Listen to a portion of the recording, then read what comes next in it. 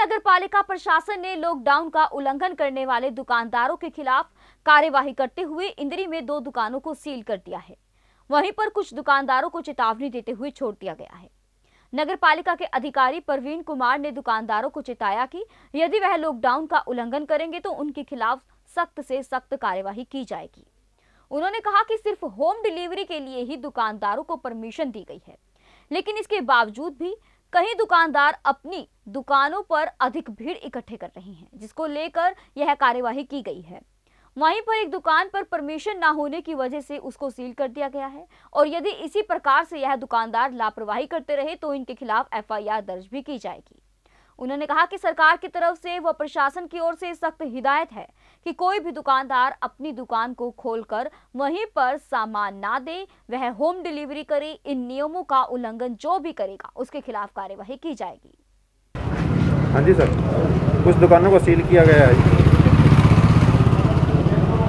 हाँ जी दो दुकानों को सील किया गया है यहाँ पे। एक तो ये हमारी है हकीम बूटाराम कस्तूरी लाल बेकरी की है और एक संदीप बेकरी सर।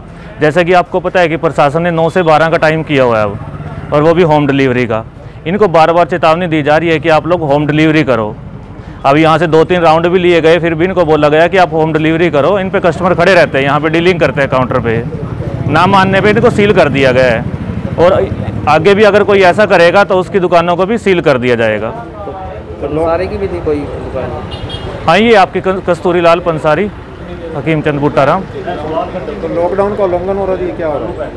नहीं लॉकडाउन का उल्लंघन जो भी करेगा उसके खिलाफ कार्रवाई की जाएगी प्रशासनिक कार्रवाई की जाएगी जो भी इसका लॉकडाउन का उल्लंघन करेगा। प्रशासन पूरी तरह से मुस्तैद है कि इसको कामयाब कराया जाए और लोगों का सहयोग भी मिल रहा है हमें। यहाँ से इंद्री से भी ऐसी बात नहीं है। लोग भी समझदार हो रहे हैं मीडिया का भी सहयोग मिल रहा है आप लोगों का भी हमें बहुत सहयोग मिल रहा है। फिर भी कुछ लोग ऐसे हैं जो इसको नहीं मान रहे अगर वो नहीं मानेंगे प्यार से तो उनके खिलाफ सख्ती से कार्रवाई की जाएगी और उनकी दुकानों को सील कर दिया कर दिया जाएगा और उनके खिलाफ एफआईआर की कार्रवाई की जाएगी। तो चेतावनी भी दी गई कुछ लोगों को हाँ चेतावनी भी दे रहे हैं मार्केट में जिस जिसकी भी खुली है दुकानें जो होम डिलीवरी नहीं कर रहा है कोई एक आधा खड़ा है उसके पास ये शटर ओपन किया हुआ है उसको चेतावनी भी दी जा रही है। चेतावनी देने के बाद इनको सील किया जा रहा है। ऐसे ही लेटेस्ट खबरें पाने के लिए बेल आइकन को क्लिक कर हमारे चैनल को लाइक शेयर एंड सब्सक्राइब करें। धन्यवाद।